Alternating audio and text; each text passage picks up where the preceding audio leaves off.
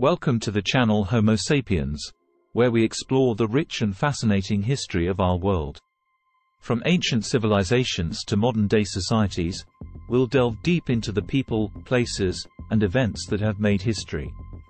This is part 2. Homo sapiens has kept hidden disturbing secret.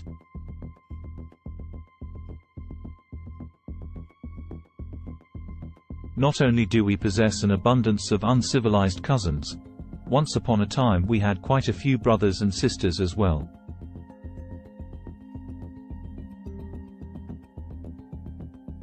We are used to thinking about ourselves as the only humans, because for the last 10,000 years, our species has indeed been the only human species around.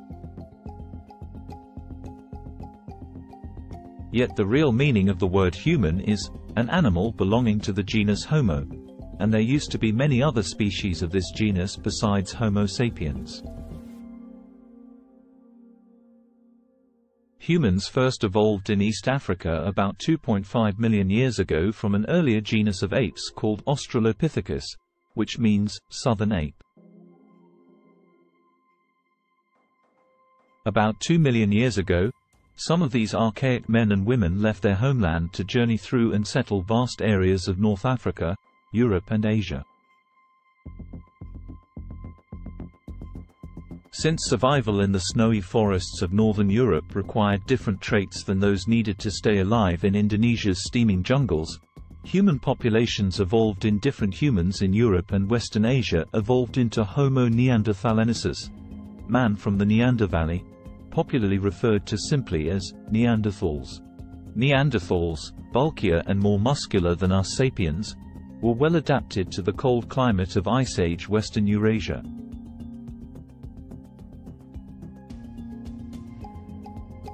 The more eastern regions of Asia were populated by Homo erectus, upright man, who survived there for close to 2 million years, making it the most durable human species ever. This record is unlikely to be broken even by our own species. It is doubtful whether Homo sapiens will still be around a thousand years from now, so two million years is really out of our league. In 2010 another lost sibling was rescued from oblivion, when scientists excavating the Denisova cave in Siberia discovered a fossilized finger bone.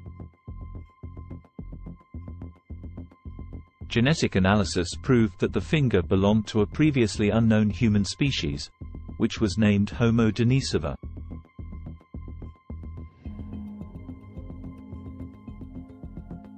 Who knows how many lost relatives of ours are waiting to be discovered in other caves, on other islands, and in other climes.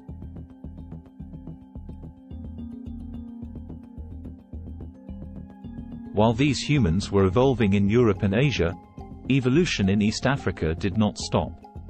The cradle of humanity continued to nurture numerous new species, such as Homo rudolfensis, man from Lake Rudolph, Homo ergaster, working man, and eventually our own species, which we've immodestly named Homo sapiens, wise man. It's a common fallacy to envision these species as arranged in a straight line of descent, with Ergaster begetting Erectus, Erectus begetting the Neanderthals, and the Neanderthals evolving into us.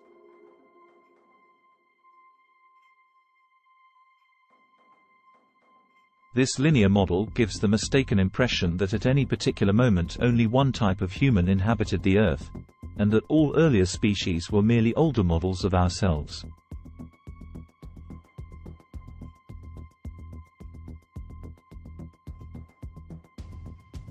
The truth is that from about 2 million years ago until around 10,000 years ago, the world was home, at one and the same time, to several human species.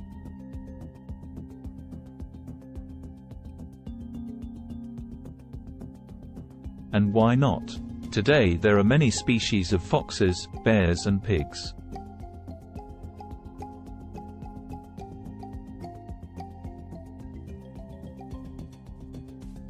The Earth of a hundred millennia ago was walked by at least six different species of man.